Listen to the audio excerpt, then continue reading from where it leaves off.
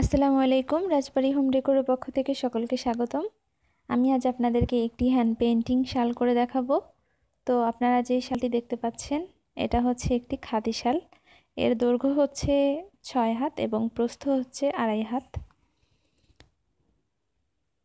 তো আমি দেখাবো আপনাদেরকে এটা কীভাবে হ্যান্ড পেন্টিং করতে হবে। তো দর্শক, ভিডিও শুরু করার আগে বলে নিচ্ছি এখনও যারা আমার চ্যানেলটি সাবস্ক্রাইব করেননি, তারা প্লিজ আমার চ্যানেলটি সাবস্ক্রাইব করুন এবং পাশে থাকা বেল আইকনে অল প্রেস করে দিন। তাহলে আমি যখনই কোনো ভিডিও নিয়ে আসব, আপনারা সাথে সাথে নোটিফিকেশান পেয়ে যাবেন। দর্শক, এগুলা হচ্ছে অ্যাক্রিলিক ফ্যাব্রিক পেন্টিং কালার, বা অ্যাক্রিলিক কালার বলা হয় এগুলাকে। তো প্রত্যেক ভিডিওতে একই কথা বলি প্রায় যে এগুলো রেডি রং, এগুলাতে কোনো কেমিক্যাল পেশানোর প্রয়োজন নেই। আপনারা জাস্ট কোটা খুলে এটা ব্যবহার করতে পারবেন। তো আমি এখানে প্রয়োজন অনুযায়ী ব্রাশ নিয়ে নিয়েছি এবং আমি এখানে একটি গাছ এঁকে নিচ্ছি।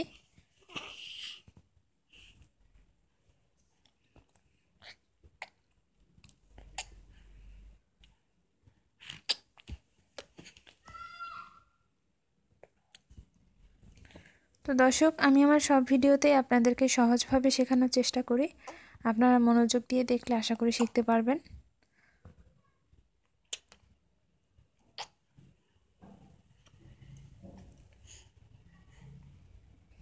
তো আমি এখন পাতা এঁকে নিচ্ছি।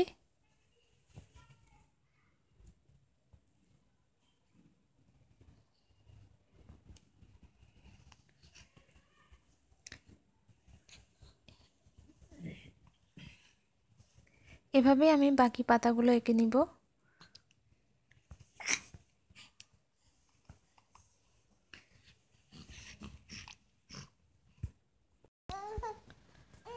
তো দর্শক এভাবে আমি বাকি গাছগুলো এঁকে নিব এবং গাছের পাতা এঁকে নিব।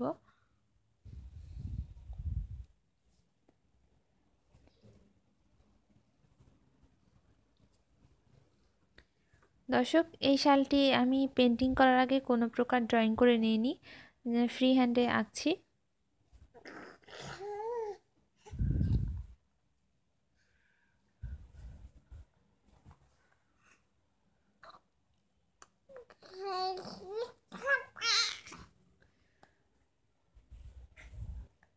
দর্শক, আমি এখন এখানে ফুল এঁকে নিচ্ছি। এটা অরেঞ্জ কালার দিয়ে আঁকছি। তো এই ভিডিওতে আমার টুনটুনি পাখির কিছু ভয় চলে এসেছে। আমার ছয় মাসের একটা টুনটুনি পাখি আছে। তো ভেবেছিলাম ওকে ঘুম পাড়িয়ে ভয়েসটা দিব, তো সেই ঘুম থেকে উঠে বসে আছে। ঘুমাচ্ছে না। যাই হোক, তো দর্শক, এভাবে আমি বাকি ফুলগুলো এঁকে নিব।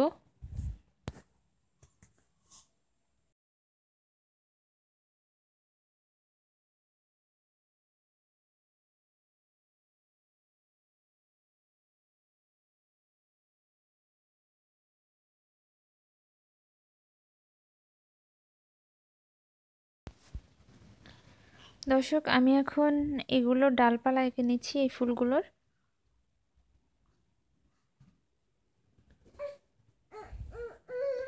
দর্শক, আমার ভিডিও যদি ভালো লাগে, তাহলে আমার ভিডিওতে লাইক করুন, কমেন্ট করে আপনাদের মতামত আমাকে জানান। আপনাদের কোনো প্রশ্ন থাকলে সেটাও আমাকে কমেন্ট বক্সে জানাতে পারেন।